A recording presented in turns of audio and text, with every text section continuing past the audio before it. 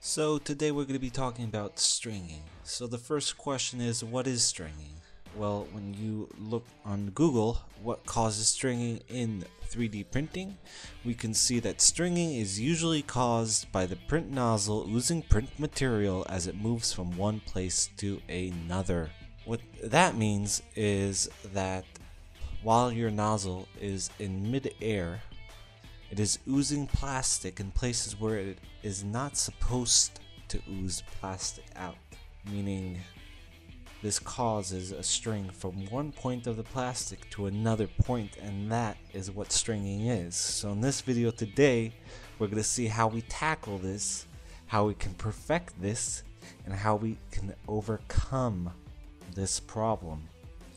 So I started with the main thing that causes stringing on printers and that is temperature. It isn't retraction settings, it isn't any of those things what causes stringing mainly is the temperature. So what you all see in front of you right now are two columns and this column is divided into blocks and each block correlates to a temperature that you need to set your extruder to. And as you see from my testing, once it gets to around 190 180 degrees, the stringing is so minute and so thin that this practically doesn't harm your print at all. So, now that we understand the difference between the stringing when it comes to temperatures, let's take two poles and print them on the default settings on our Prusa slicer.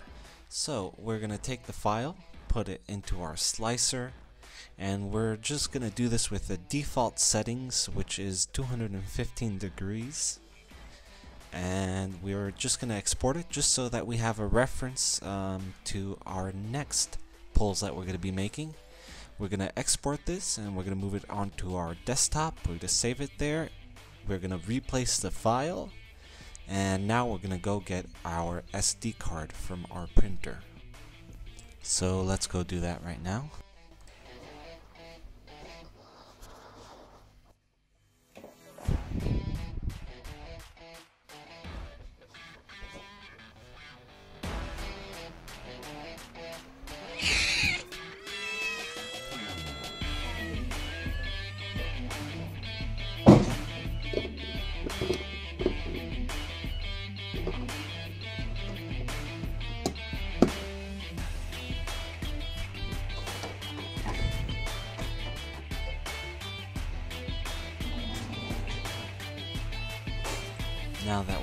that, we're going to move our G-code file onto our SD card and we are going to print it up.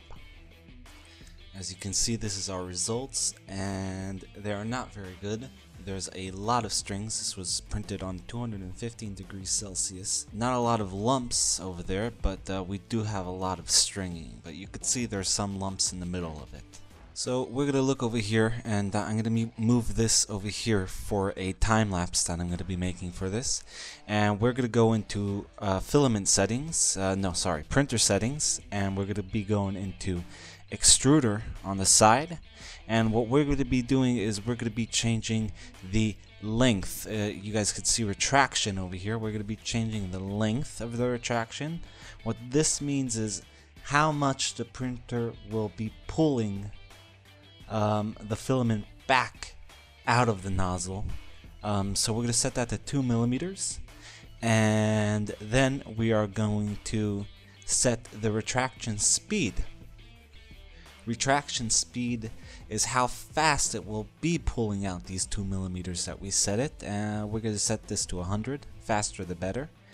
And then we're going to do retract amount before wipe. So what happens is your printer actually wipes the nozzle before it moves. So we will want, let's retract some of uh, the filament uh, of the 2 millimeters that we're going to be retracting. We're going to retract 50% of that. And uh, yeah, uh, let's see how this goes export the G-code, save it, replace the file, pull out the SD card, put it in the computer, drag the file into the SD card, place the destination, pull out the SD card, put it back into the printer, and print. And as you see, these are the results of the second print. Stringing looks very different from the first, but still we don't have a great print. Um, and I think this is to do with uh, the temperature. So let's go back and lower the temperature. So what I did is I went back and I set the retraction settings to their default because I wanted to just lower the temperatures, see how that comes out. And if I need retraction, I will use retraction for my next print. And this is just to give you guys a little look to see what's the difference between 190 degrees to uh, 215 what we just did and also it's uh, so that later I can show you guys the difference between 190 and 190 with retraction on export the G-code, save it, replace the file, pull out the SD card, put it in the computer, drag the file into the SD card, place the destination, pull out the SD card, put it back into the printer, and print. The print came out okay, still a lot of uh, stringing, but uh, this stringing is very very thin and could be removed very very easily.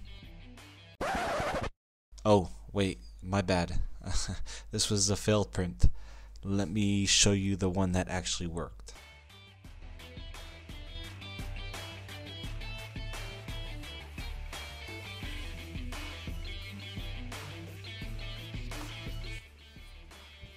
So now that we got to this point of the stringing video, um, I'm going to show you guys the settings that I personally use for my stringing and I recommend everybody else to use those when you're printing with PLA. Without further ado, let's do that. Hello everybody, I'm going to show you guys my settings um, for printing. So go into printer settings, press on extruder 1 and on the length I put it on 2 2.0 it becomes. Um, lifting, I turn that off. I do not want it to lift. There is no need to touch the retraction speed in my eyes. I think that that is just fine. And the retract amount, I bump it up to 25. And that's pretty much the settings I use. Um, other than that, I also go into the filament settings and I switch the temperature to 195 for the first layer and to 195 for the second layer. Those of you who might want to use um, a higher temperature for the first layer just for better adhering to the bed, you can do so. Um, I just find that a glue stick works just fine to stick my prints down to the bed. So that's pretty much my settings and uh, let's see how this prints export the G-code, save it, replace the file, pull out the SD card, put it in the computer, drag the file into the SD card, place the destination, pull out the SD card, put it back into the printer, and print.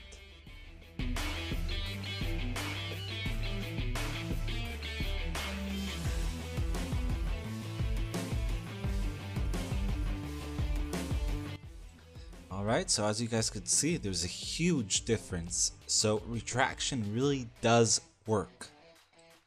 But again, you can see that stringing is mostly caused because of the temperature, which is why I would recommend whenever you get a brand new filament uh, from some different company that you don't know, always just print up the temperature thing just so that you know where your filament is better and where it's weaker when it comes to stringing.